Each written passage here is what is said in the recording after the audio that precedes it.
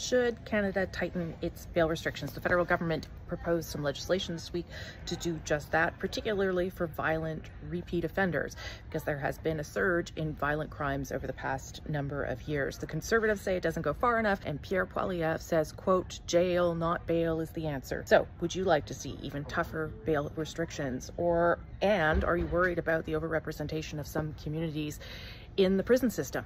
Let us know what you think.